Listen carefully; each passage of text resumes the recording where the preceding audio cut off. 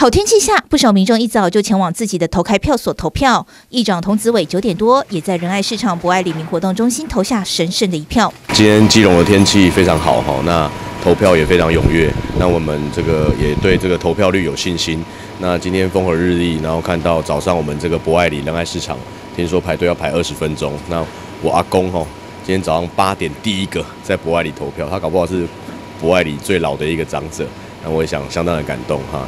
那这个，我想这个选举哈，世界都在看台湾的这个选举状况，包含印太地区、世界、中美关系等等。我想相信大家都要把这个民主神圣的一票来投下去。那这个是一个民主嘉年华，我想也展现台湾的民主价值。